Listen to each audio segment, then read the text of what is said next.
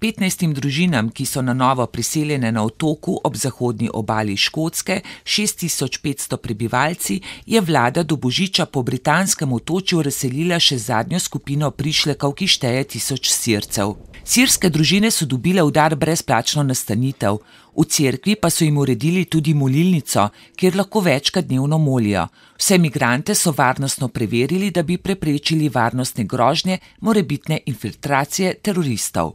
Butte is, through no fault of its own, it's an overwhelmingly white, until now, overwhelmingly uh, white community. Um, its religious background is almost exclusively Christian. Glede novo naseljenih sircev so se pri domačinih pojavile napetosti. Otočani so namreč razdeljeni med tiste, ki so sirske migrante brezpogojno sprejeli medse, in ostale, ki so vlado v Londonu ter lokalne oblasti jezno obtožili. to most of the, the concerns that the local community have, we're, we're, we're, in the grand scheme of things, we're more about how do we address them, how, how, how do we uh, approach them, what should we say, what shouldn't we say. You know, because I think the community is very, very sensitive to the fact that the communities are, that the, the Syrians that are coming over are, are probably coming over from a very traumatic experience. Slednji so bili še posebej razočarani nad ponujenim luksuzom in vsem denarjem, ki je bil namenjen migrantom, medtem ko za domačine še vedno veljajo vrčevalni ukrepi. Celo božično razsvetljavo so prestavili na drugo leto.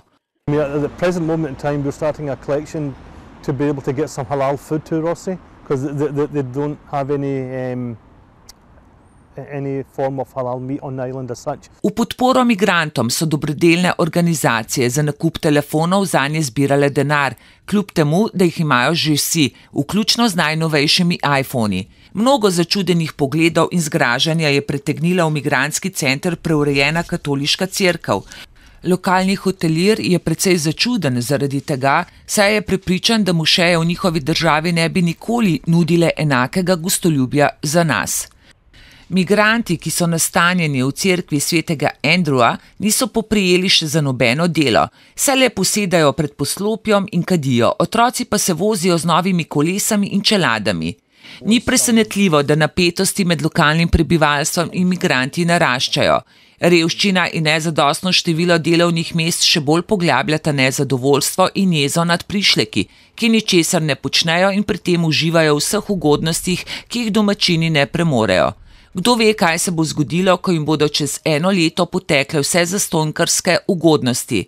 V resnici niti niso toliko krivi migranti, kot pa oblast, ki je zaradi nepremišljenega socialnega eksperimenta povzročila, da se bodo migranti sami ucelili v večje mesta, kjer se bodo počutili bolj domače.